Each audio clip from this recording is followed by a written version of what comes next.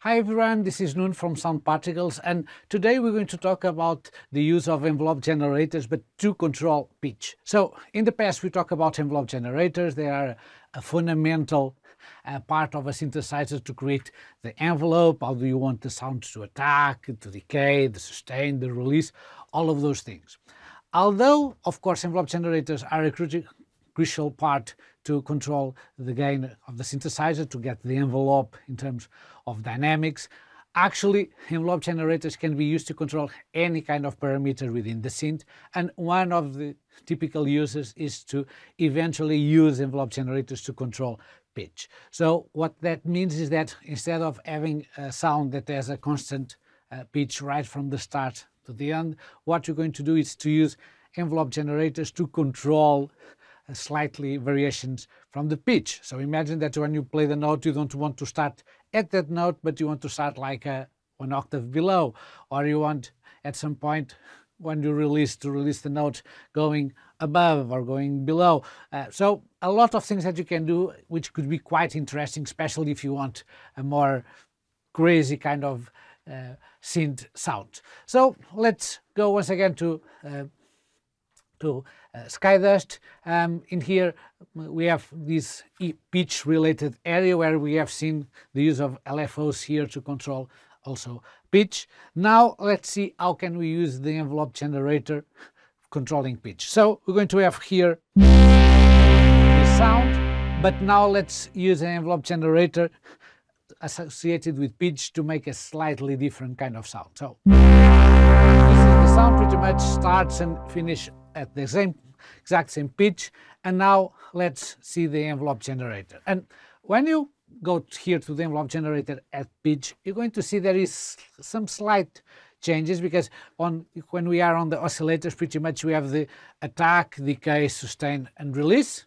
Okay? But now within pitch you start having some additional things so you still get the attack time the decay time the sustain and the releases, but now we have some additional uh, knobs. And why? Well, when we're using envelope generator to control amplitude, we already know that we always want this to start at zero, okay, uh, to increase the uh, things. We all know that the attack is going to until 100% of the, the amplitude. On the release, we always know that we're going to finish at zero once again. So we don't need those additional parameters here. Eventually some envelope generators may have those parameters, but we know that controlling gain pretty much we want to start at zero, finish at zero, attack to the maximum value, that's pretty much things.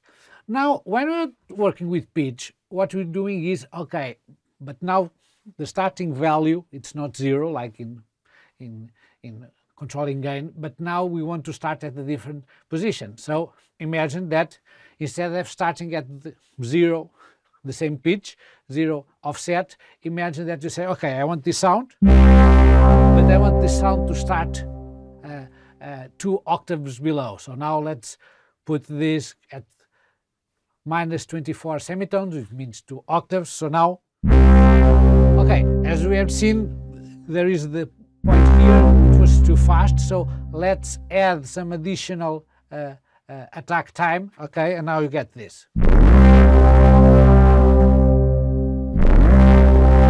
So as you can see, without the envelope generator, with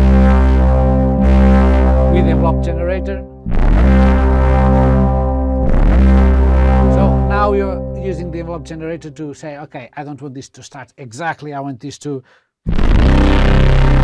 to go uh, uh, until there. Of course, we could even increase this to a higher value.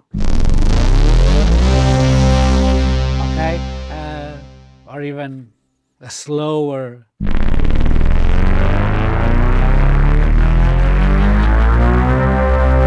Okay, so you say how much do you want to to get there? Okay, so that's the track time, the, amount that it takes to go there. Um, and also imagine that, okay, I don't want uh, that, I want a value more or less one octave below. Okay, so that's perfectly something that you can use for this. Then we have the attack. Imagine that you say, no, I don't want the attack to be at zero. I want the attack to be, for instance, slightly uh, uh, above.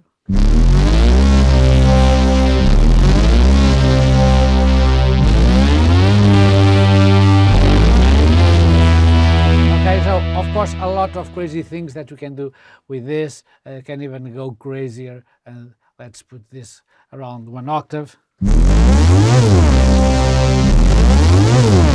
Okay, so a lot of crazy things that you can do with envelope generators controlling pitch, controlling pitch. Uh, also something that usually it's can be used a lot, it's on the release. So say, okay, I want on release to either go up or either go down. So imagine that you want to go up.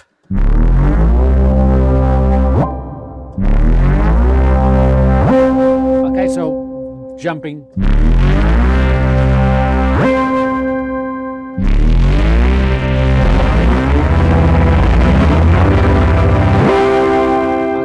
Or eventually, of course, increasing the time here.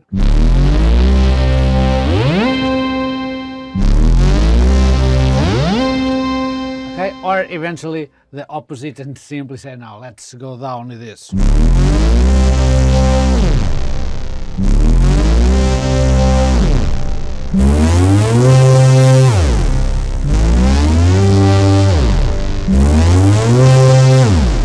Okay, so most of the times people don't tend to use envelope generators controlling pitch. Sometimes we use envelope generators controlling pitch to give this kind of kind of attack to attack from especially from below to to the note that we want. Sometimes you put that on the end on the release just to when you release the note to almost like shutting down a machine or the engine and the pitch starting to go down.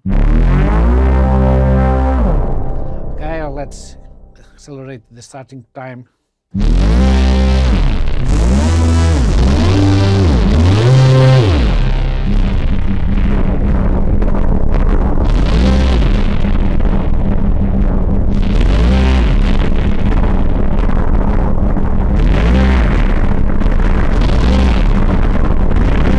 Okay, so a lot of crazy things that you can do with this.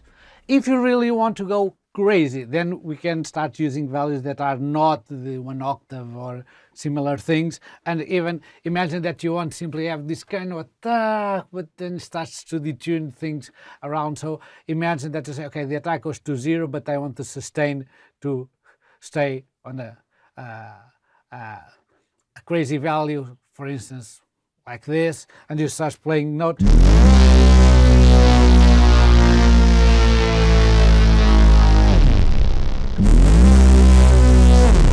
And essentially, or eventually, it's just a little bit out of tune, and you start doing like this. Okay,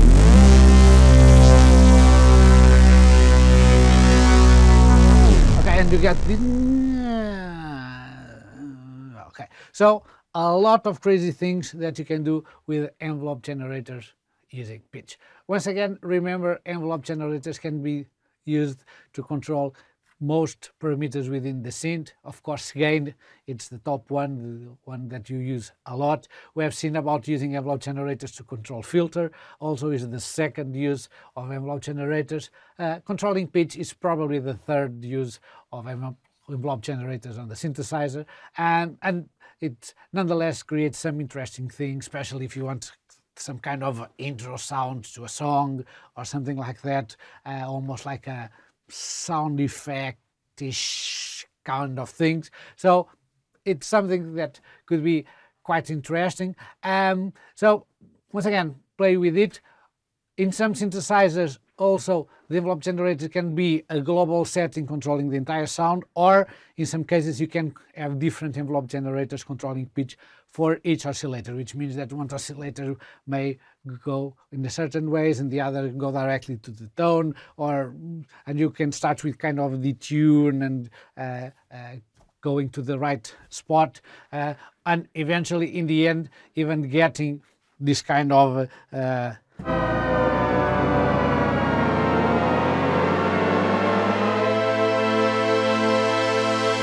kind of sound with envelope generators out of tune and start to, to get to the to the right. Like was saying, play with this, try different settings, because sometimes this kind of effect is exactly what you want to give that extra edge to a particular sound on your synthesizer. So I hope you have enjoyed. Stay tuned. The next uh, session we're going to talk about the use of macro. So see you around.